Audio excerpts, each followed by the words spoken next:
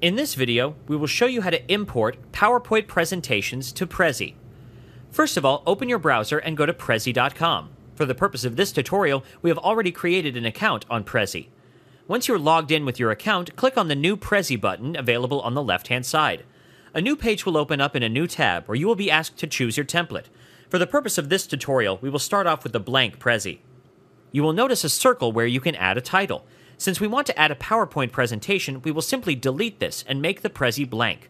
Once you're done, go to the top and click on the Insert button. From the drop-down menu, select the PowerPoint option. As a result, a window will appear from where you can open the presentation that you want to import. Once you've opened the PPT, you can monitor the progress of the upload in the right pane. Once the PowerPoint slides have been downloaded, click on the Insert All button to add all of the slides.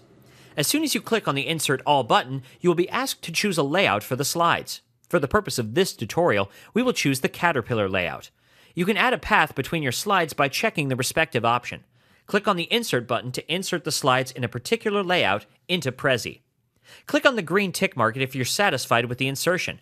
You can always zoom in and out of the different circles, increase or decrease the text box size, tilt the text boxes as per your requirement, etc. Once you're done with the changes, click on the Present button on the top left corner of the page. As a result, a Prezi slideshow will start in full screen. Click on the arrow keys at the bottom to skip from one graphic circle to another in the same way you go from one slide to another. Thanks for watching. This was a HowTech.tv tutorial.